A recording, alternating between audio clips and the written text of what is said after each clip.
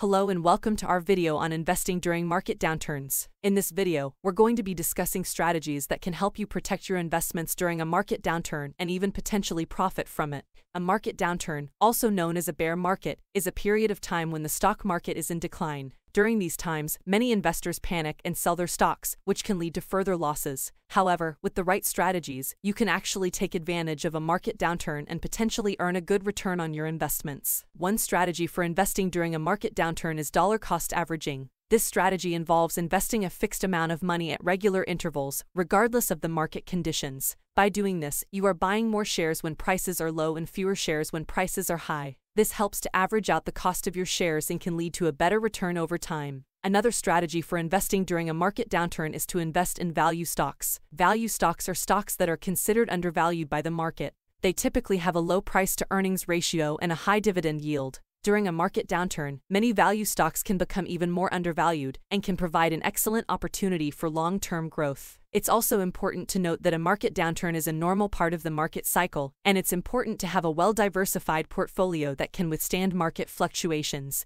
Diversification can help you spread your investments across different types of assets, such as stocks, bonds, and real estate, which can minimize your risk and increase your chances of earning a good return. Another important thing to keep in mind is to not to make emotional decisions during market downturns. It's important to stick to your investment plan and not to make impulsive decisions based on short-term market fluctuations. In conclusion, a market downturn can be a scary time for investors, but with the right strategies, you can actually take advantage of it and potentially earn a good return on your investments. Dollar cost averaging and investing in value stocks are just two examples of strategies that can help you protect your investments during a market downturn. Remember, it's important to have a well diversified portfolio and not to make emotional decisions during market downturns. Thanks for watching. If you have any questions or comments, please leave them below. Also, subscribe Money Mindset for more such content.